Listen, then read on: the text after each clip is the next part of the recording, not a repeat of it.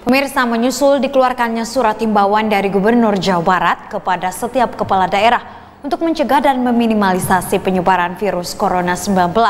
Bupati Bandung Barat pun menindaklanjutinya.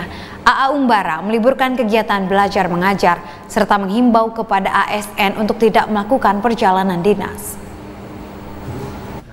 Menindaklanjuti surat edaran dari Gubernur Jawa Barat, Bupati Bandung Barat mulai meliburkan aktivitas belajar mengajar guru dan siswa tidak serta-merta libur, melainkan diberikan pekerjaan rumah. Tujuannya yakni untuk mencegah dan meminimalisasi penyebaran virus corona atau COVID-19. Para murid dan orang tua pun dihimbau agar tidak bepergian keluar daerah. Sekolah, kita selama dua minggu kita sudah tanda tangani libur sekolah itu, terus lakukan libur sekolah. Semua kegiatan yang menyangkut banyak orang dan itu juga tidak libur, belajar di rumah, terus lagi ya gurunya juga di samping itu ada aktivitas di rumah dan berdoa kan begitu.